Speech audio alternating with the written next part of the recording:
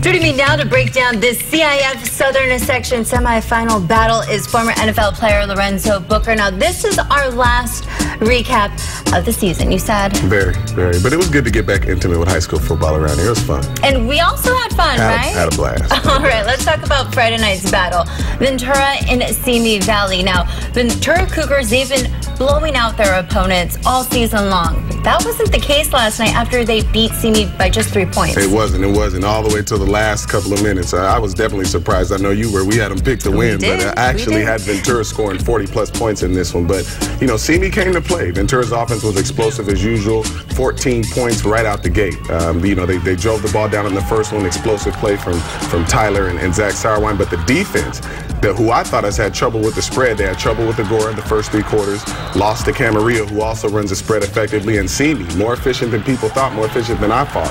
I thought. Davis Pinkston was, was great. He played good all the way up until the end. But the Ventura's defense came up with the plays when they needed to. You know, I have to say, I was so impressed with Tyler Smith. He's Yeah, only a well. junior, Mm. and he did have two interceptions, but I have to say, I, I think that he composed himself so well, and it seemed like he was out to win it from the very beginning. You know, the thing is that the, the composure. That's actually the most important thing for a quarterback to have, particularly a young quarterback. That that experience he got last year towards the end of the year got Ventura to the quarterfinals, proved to be significant here in the backstretch. They get back to the playoffs. They're probably the favorite going in. And, you know, starts out the gate great. Hits, hits Zach Sauerwein for an 84 yard touchdown. The guy's playing lights out, makes two costly turnovers. His team is losing the lead, comes back, makes great throws when his team needs to. And Tyler Peralta definitely helped his confidence being that balance. It kept the running lanes open for Tyler. And again, he made throws when he needed to. Okay, let's talk a little bit more about Sauerwein, Zach Sauerwein.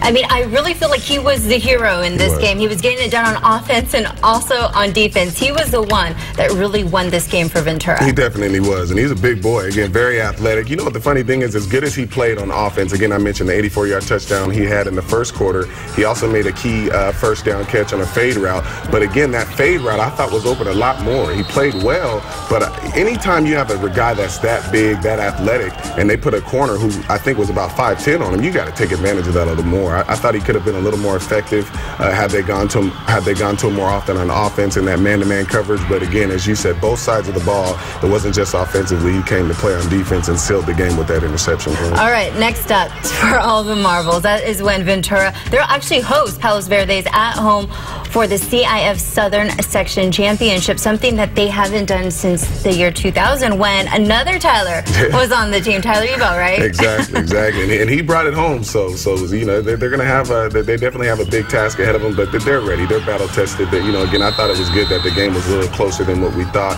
because it, it's going to make sure that they come into this game ready. Oh, that is and- true, and, Yeah, ready to go. Another great game, let's talk briefly on Friday night, was Newbury Park and Atascadero. Newberry, though, snuck away with the victory by a single point, 49 to 48. That's yeah, crazy. Yeah, you told me that Newbury with both Holmes brothers healthy was going to lose by one point, I would be a broke man right now.